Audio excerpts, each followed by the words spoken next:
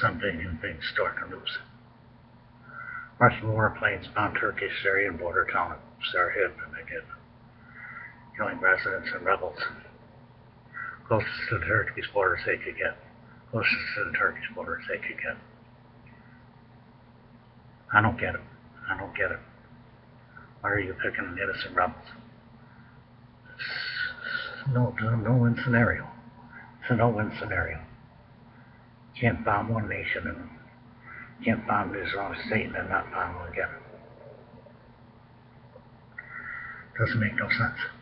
Unless they want to hit along the Turkish border where the Turkish are. See if they can shoot down the plane.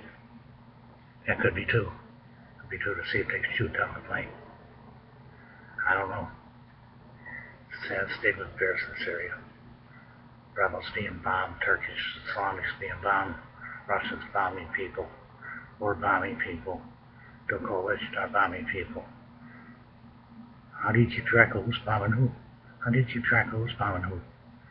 Just, just, just a quagmire of bombing.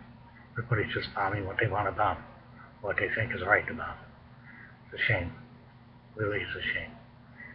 Said to the residential border, rebel border. Need the rebels to oust Bashar Assad. Course, they're the enemies of Bashar Assad. So they get hit too. Billion invades starting to lose. Thank you for watching.